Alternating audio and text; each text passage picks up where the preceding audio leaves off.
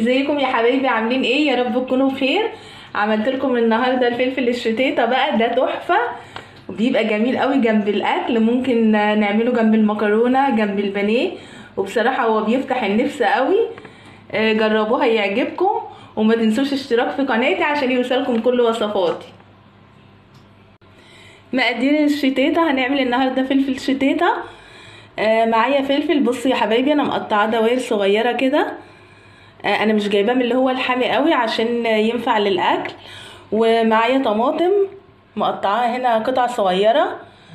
معايا هنا معلقة توم كبيرة. وهنا بقدونس هحطه كده هرش للزينة. التوابل معايا نص معلقة كزبرة ناشفة ونص معلقة فلفل أسود ناعم وبرده زيها بابريكا ومعلقة كمون كبيرة على ملح. وهنا معلقتين خل. يلا بينا نبدأ. جبت طاسة على البوتاجاز وحطيتها تسخن شوية وهحط الزيت دلوقتي بسم الله. بعد ما الزيت بتاعي سخن شوية هحط التوم وهنشوحه.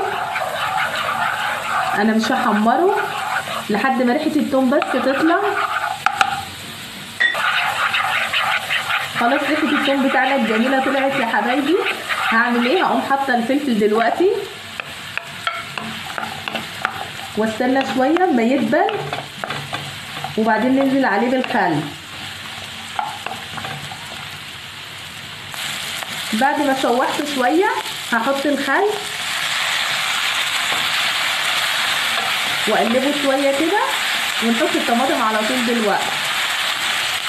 وأدي الطماطم. الله الروايح جميلة جدا ما شاء الله. هسيبها بقى تتسبك معاه شوية وبعدين أحط التوابل. هنزل بالتوابل. وأسيبها برده شوية. آه خلاص كده الفلفل بتاعنا خلص. آه هسيبه يبرد شوية وبعدين اغرفه